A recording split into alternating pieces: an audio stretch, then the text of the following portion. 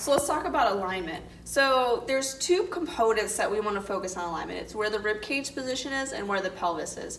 So we want those two to be stacked with one another. So focusing on the pelvis first. So when we look at the pelvis, the pubic bone and the hip bone being stacked with one another is neutral.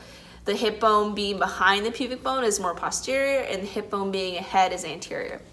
So the way that you can tell what you are is you can put you can form a triangle on your hands, put your fingertips on your pubic bone and your palms on your hip bone.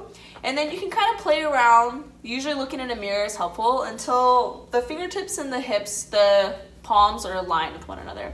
So if my fingertips are deeper in, I'm probably in a posterior or anterior tilt where I'm pushing my butt out. If my fingertips are more tucked under or further out than my palms, I'm probably in a posterior tilt where my butt is tucked underneath. And then when they're stacked with one another, that's probably neutral.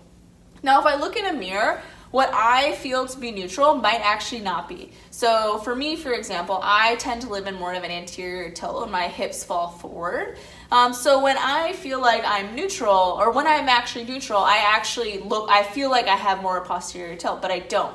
So looking in the mirror and seeing like, okay, this is what my neutral is and remembering how that feels and then doing that throughout your day can be really helpful. So when you're holding your kid, when you're picking something up, think this is what neutral feels like. This is what neutral feels like. The second component is gonna be the ribs. So I got my pelvis lined up, my pelvis is a neutral, but now are my ribs thrusted forward? So are they lifting up now or are they even like pushed back? So the thing that you can look for is like, is my ear, my shoulder, and my hip kind of generally in a line?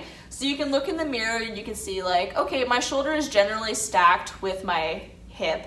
So most likely I'm fairly stacked. Now if my shoulder is kind of behind my hip, most likely I'm pushing my ribs backwards. Or if my um, shoulder is more forward, I'm probably more anterior and thrusty with my ribs.